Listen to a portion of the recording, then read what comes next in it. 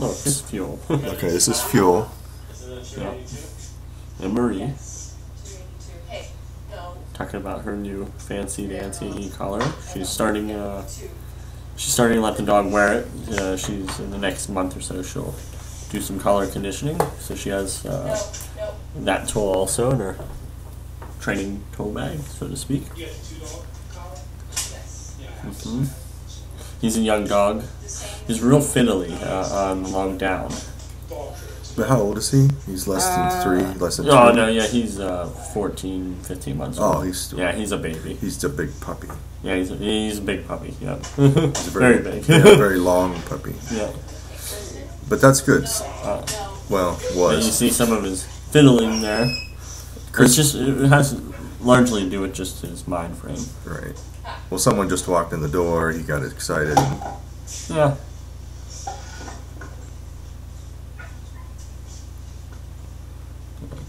Marie's been working a lot on what we call contact heeling instead of focused heeling. And chair stuff.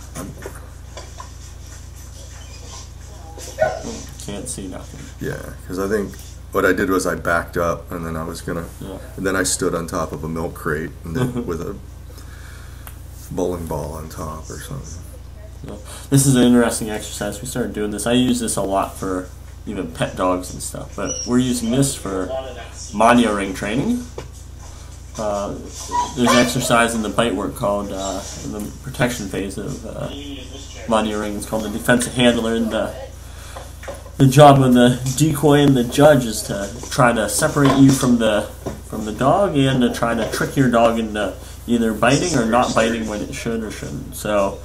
Um, they can have you sit down in chairs, and then the decoy can maybe try to distract your dog. So what we do is that we teach the dog that whenever it's sitting like this in this chair, in between the legs, that there's going to be a bite. And you'll see here in a second, hopefully. We sit down another way to tell the dog that there is no bite. And so this is nice here because the dog basically can't be separated from the handler if he's sitting underneath the handler. If the dog's laying down underneath the handler. And has Fuel had a bite from the No, we- chair yet? No, it hasn't. Uh, we haven't incorporated that into the bite work yet. It's just skills that we're teaching in obedience that will tra- later transfer to the bite work.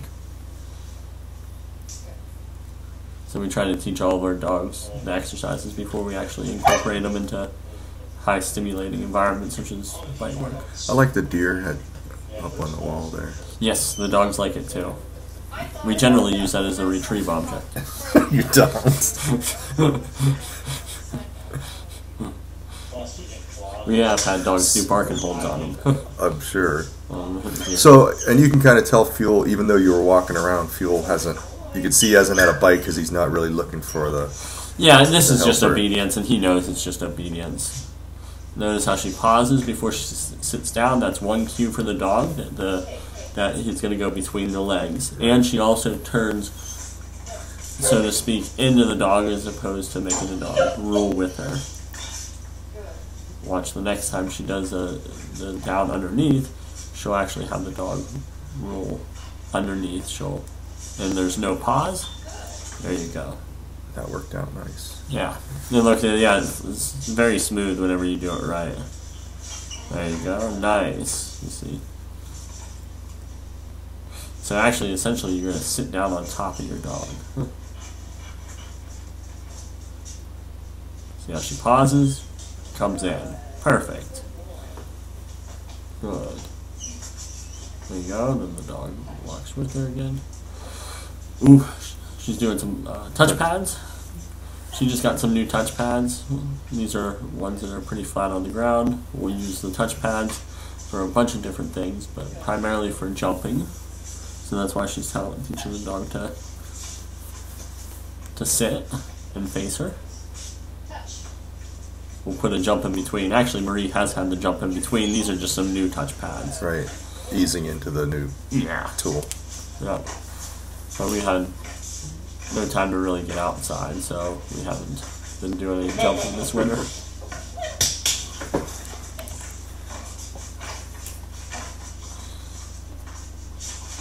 really effective play. The dog brings the toy back, wants to engage with her, outs well, retrieves the toy back well.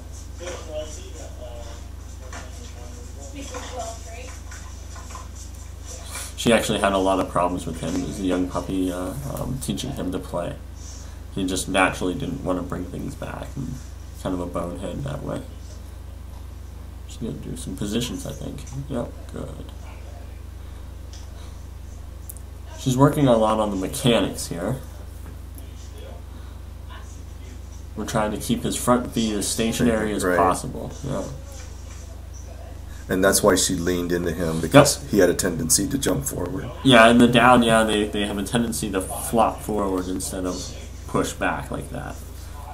And it's kind of a hard fade. Uh, um, she's going to use some barriers, and she's also probably going to use the touchpad. She's going to teach the dog to do touch pads and do the positions on there so she can get the distance. Now she's just kind of testing him. Yeah, Right. well, yeah, she's just sta- yeah, making him stable and realizing, uh, uh, teaching the dog to, Right. regardless, to stay in the position, whatever she's doing.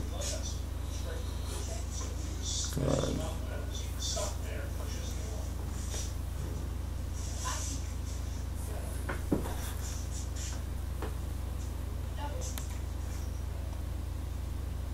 Good. Then I step in here in a couple minutes and give Marie some bad advice. Why? She's doing good. Yeah. Yeah. Should have let it flow. That was good. Uh, I was worried about um, the cues being that she's moving, so I wanted her to say the, the command first, Oh, okay. and then cue the dog. right. You know. Going all the way back to basics. Yeah. Mhm.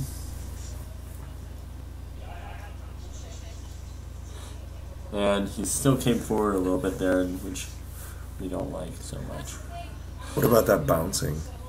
It's okay at this age. We, I mean, I prefer not to see it, but he's just kind of exuberant He's to do Yeah, it. he's yeah. a young dog. But I think that what's going to help this dog a lot is the positions on the touch pads, so she can get distance and stuff. And not only that, but the we'll be able to also do a little bit of work here after she does some collar conditioning with the dog too, and the dog understands how to use the electric properly. You know, and we can use it there too to get stuff from a distance, Mhm. behaviors from a distance. Some people will use barriers such as string and stuff, which is very good. Then they start to fade it to. Um, How would they use string? well, they use they'll use a barrier to teach the dog to do the positions behind the barrier, so the dog can't Oh, come okay. forward, Right. right? Right. Uh, um, Like then, string on posts or Yep, something? yep. Okay. And then they'll use. Uh, I've seen people use all different types of. Uh, uh, you know, they'll plant uh, stakes in the ground and then Right. use string around them, and then they can fade it to lighter string to to Oh, fishing you- line right, and then to right. nothing. You know. So it's one of the things about props is is that we gotta fade them. Fade we gotta get out of them. That's why I don't like to use big boxes or anything like that. And these touch pads will actually be easy to fade too, because we can cut them in half. We keep cutting it in half until it's Mhm. basically nothing. And then we can go lower ones and thinner ones. So Marie's uh, doing a lot with. Uh, she's trying to make a uh, heads up heeling here. Uh, um, she's been working on it for a little bit. Um, she had really nice regular heeling, but she didn't like how the dog's head wrapped around, so she's went back to the beginning and kind of tried to get the heads up. But this dog, like, he can do it, but he's not. uh, There you go. But it's really time consuming to get it and stuff. But she wants to do it, so it'll make her a better trainer too.